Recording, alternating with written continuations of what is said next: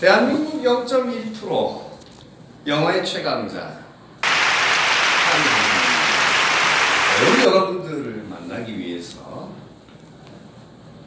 물 건너 산 건너 바다 건너 왔습니다. 안녕하십니까? 자, 원래는 한국말 잘 몰라요.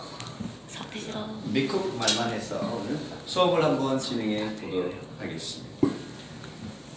Hi everyone, this is Tommy. I am the one of the best English teacher.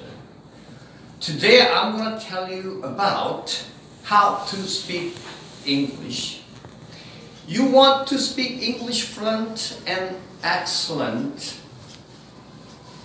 from the beginning you must go upgrade your vocabulary and learn grammar and then practice English for improving your English with other foreigners. But it is limited because you can't find out someone who can speak English with you.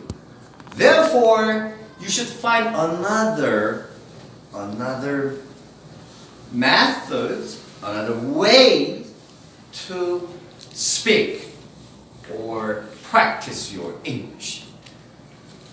While you are staying in your place or outside, you can choose one of the best themes or some uh, fairs or events by using your own English. For example, let me show you how to make your English better, right? So I have something, yeah, uh, maybe I will choose one of these. All right. Yeah. For example, uh, sick boy. Yeah.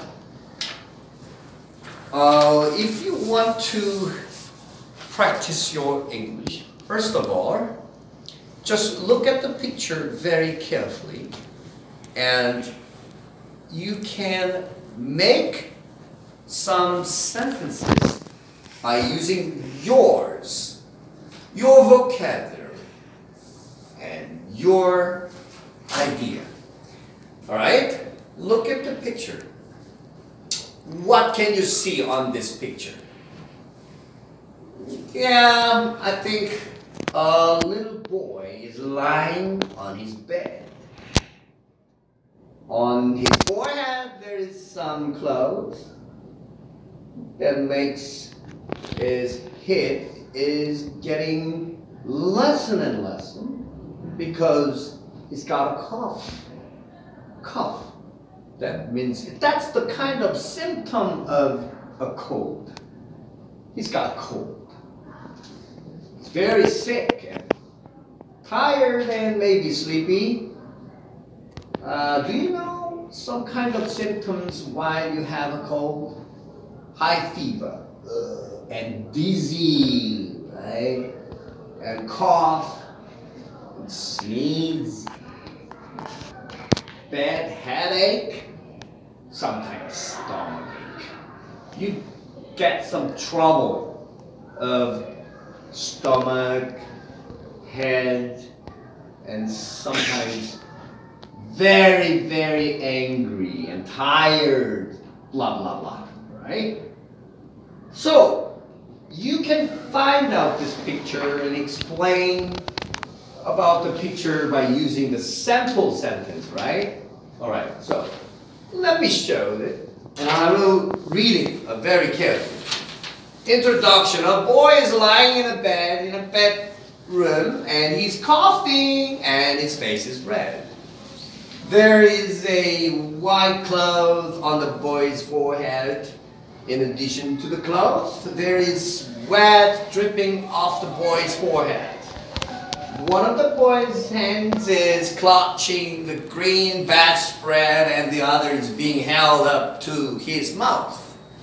The boy looks to be sick with some kind of illness, from his facial expression, look at his face, right? He seems to be feeling miserable.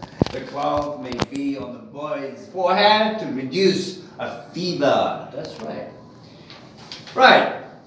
So you can show this picture and explain how to make a sentence. That's the beginning to speak English. And then you can communicate and share. Okay, I got a, uh, I got number one. Okay, see you later.